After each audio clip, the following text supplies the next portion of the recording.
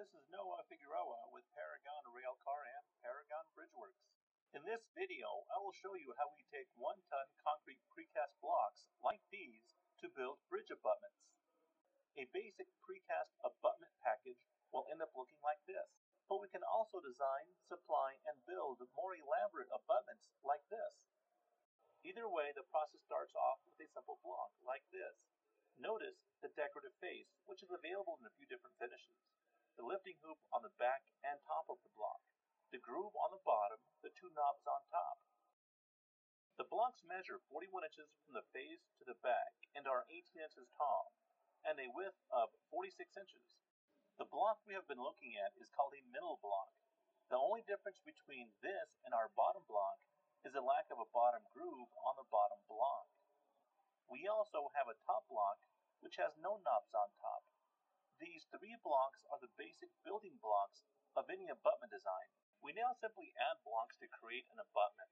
This is a basic package for a single wide railcar rated for HS20.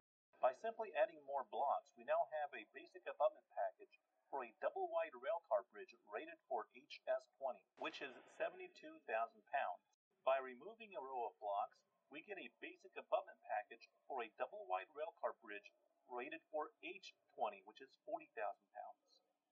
We now have an abutment package for 10,000 pound vehicular traffic or pedestrian traffic. Because of the low cost, this package is also popular for temporary bridges. Regardless of how many blocks, the first bridge deck is placed like this, with the second bridge deck placed right next to the first. The process is simple, very cost effective, very quick, and can be duplicated throughout North America, with inventory sitting on the ground in almost every single state. Let's take a look at how this actually gets put together. Here we are in northern Colorado with temperatures in the single digits. As with any construction project, the first thing we do is clear our work area.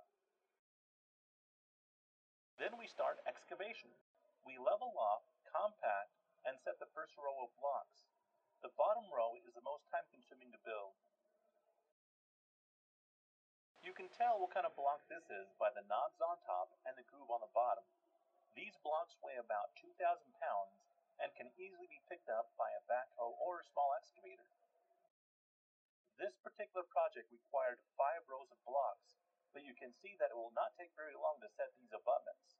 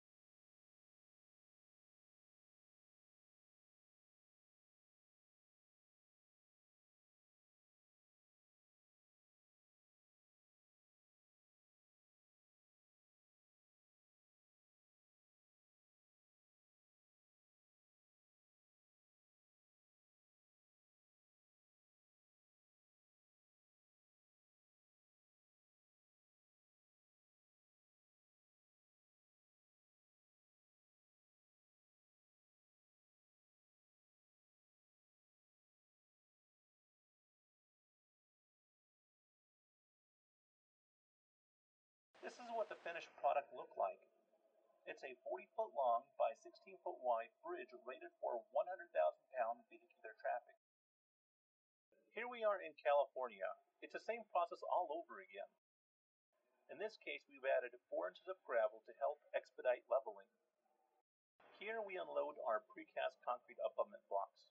We have blocks at several locations in northern and southern California, but these blocks were brought out of Reno, Nevada, since this project was on the eastern side of the Sierras. This remote site had very poor access to the other side of the river. This is another advantage of using our precast blocks, since we can simply reach across the river and stage blocks. Also notice one of the alternative block face types used here. This is a good example of our basic single wide abutment package rated for 80,000 pound vehicular traffic. And this is a finished product, 90 foot long and 10 foot wide. Keep in mind that precast is not always the best choice. Paragon does design and build several types of cast in place abutments. Give us a call to see if our abutment blocks can be used on your project.